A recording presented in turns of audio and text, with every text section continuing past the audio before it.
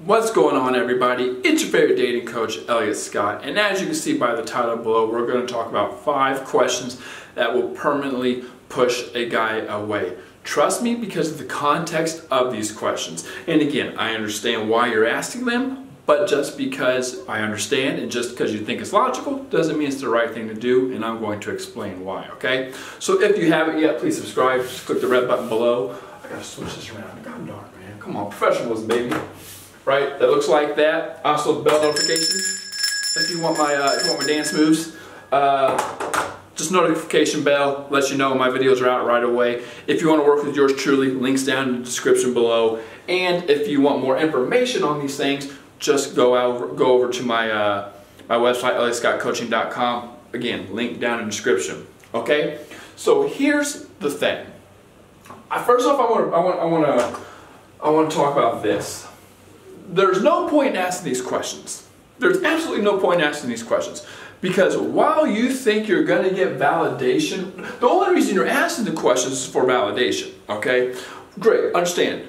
I, I would agree with you on asking those questions if it wasn't for two things. Number one, it pushes the guy away because you're only, when you're looking for something serious, that's when you ask for these questions, which is fine, I understand, but don't ask them in the beginning. That's number one. Number two, there's no point in asking the questions because guess what? He he, can lie to you. He can lie to you. Oh, I should, hey, do you guys remember that video I made a long time ago where I should do some, some ASMR or something? Hey, what's up, ladies? It's your favorite dating coach, Elliot Scott. See, I should be doing some of that stuff. I don't know why I don't. Some kinky stuff. But he can lie to you, right? He can lie to you. So no matter what you ask, he can lie, right? I know, I, I, I you get that? You get what I'm saying there? You get, hey, right, hey, just in case you don't know, yeah, right there. Lie. It's pretty blue. That's a, a pretty ass blue. But he can lie to you. So what's the point of asking him? Which is why I always say there's no reason to ask in very nice handwriting.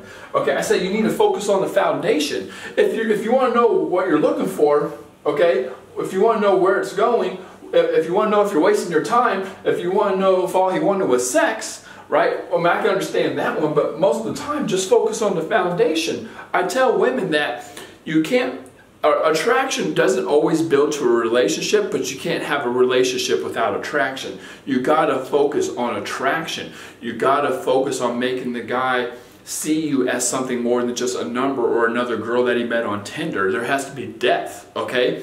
So I don't care. So when you ask these questions, that's actually pushing you this way when you want to go that way.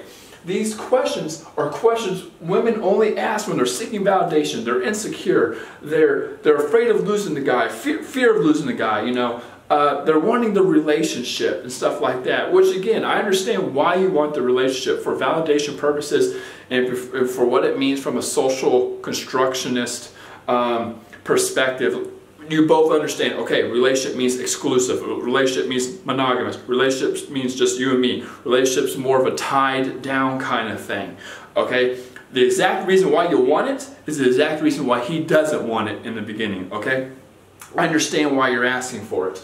However, these questions in the beginning, within the first eight weeks, should not be said, right? This should be like the, like, like I don't know if you guys know Beetle, Beetlejuice, right? You, you should not be saying these things. It's like his name. You should not be saying Beetlejuice. You should not be talking about these things, okay? So the question is basically, what are you looking for? Don't ask him that. He can lie. Where's this going? He can lie. Usually guys beat around the bush with that question, okay? Uh, I should be putting some, uh, I might put it on my blog. Let me, let me know below uh, if you want me to give you a list of canned, canned lines that a guy uses for each of these because I used to use them all the time. It's actually not a joke, this is wrong. But uh, am I wasting my time? Again, he can bullshit you.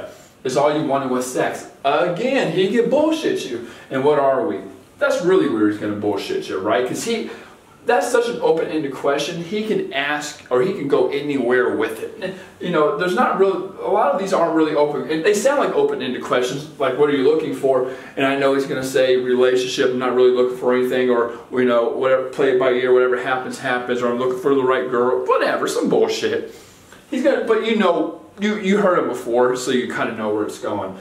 But like I said, for the most part, ladies, just focus on the foundation. Nothing else matters. He can walk. Again, I'm with you. I'm on your side. I'm on your side. right? I'm on your side with this. But I understand a guy's logical perspective doesn't mean he's right. He's gonna bullshit on bullshit you on this. Because if he doesn't, you're gone. So just focus on building the attraction, okay? With that being said, ladies, I love you. Take care. If you haven't yet, subscribe. Go to my go to my uh, my website, elliotscottcoaching.com if you want more on this. Take care and subscribe and peace.